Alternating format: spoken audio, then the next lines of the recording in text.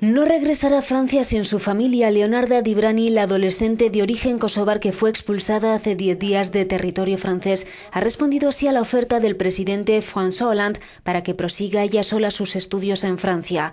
El ministro del Interior, Manuel Valls, ha presentado este sábado un informe oficial sobre la controvertida expulsión de la familia de etnia gitana.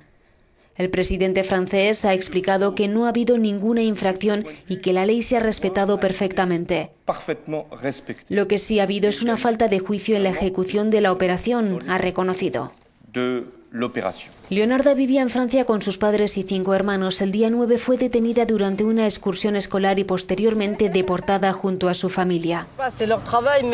Hacen su trabajo, pero no es su trabajo sacar a un adolescente de 15 años del autobús. No es su trabajo tirar de mi mano. Me hicieron bajar con todos mis compañeros mirándome. Sentí vergüenza porque todo el mundo me miraba de forma extraña.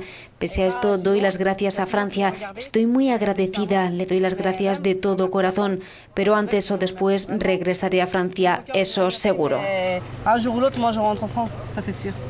La expulsión de Leonardo ha provocado tanto interés mediático como indignación estudiantil en París. Pese a las protestas, los sondeos revelan que 7 de cada 10 franceses aprueban la política del gobierno. El 65% se opone a que se anule la expulsión de la familia Dibrani.